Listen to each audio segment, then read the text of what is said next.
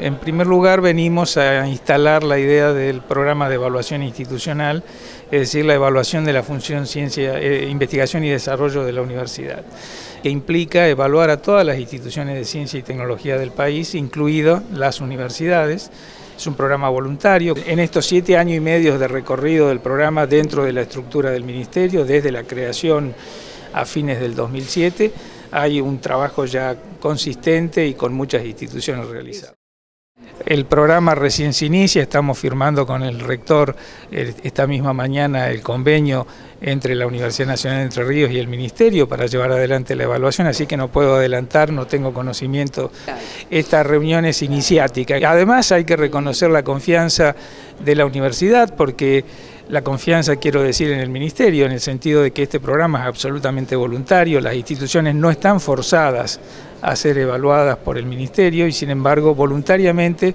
eh, llegan a, nosotros porque entienden que efectivamente el objetivo es ayudarlas a mejorar y no establecer un juicio crítico sobre lo que se está haciendo, ¿no es cierto? El proceso de autoevaluación eh, puede ser un proceso que, con cierta energía, si se toma con, con, entusiasmo, como hemos visto aquí, probablemente se pueda realizar en un año porque tiene que ir profundamente, eso es lo que esperamos, a buscar eh, las problemáticas, las, debilidades, las fortalezas también a un nivel lo más bajo posible en la estructura organizativa de la institución, de manera que queremos que se involucre la mayor cantidad de gente posible y eso es todo un revulsivo que es quizás la parte más rica del programa, lo que la propia institución hace cuando se mira a sí mismo a través de todos sus agentes. Eh, la segunda parte, que es la evaluación externa, es algo que se hace más rápido. Acordamos un conjunto de evaluadores nacionales e internacionales que paga el Ministerio para convocarlos una semana o algo así aquí a Entre Ríos para que visiten las distintas sedes y se hagan una opinión, tomando como insumo previo el, el documento de autoevaluación que ya debe estar aprobado y presentado previamente por la universidad.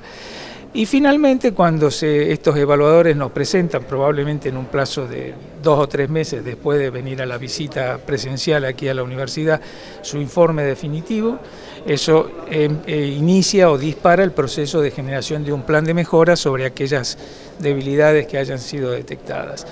Todo el proceso puede demorar eh, entre dos y tres años, digamos, dependiendo de, de cómo la institución tome esto, con cuánto con cuánta prioridad, digamos, en sus actividades, porque también es disruptivo de la actividad normal, hay que dedicar tiempo para este tipo de cosas, ¿no es cierto? Aquí no hay ninguna diferencia en cuestiones disciplinares, ni siquiera en cuanto a la intención, si es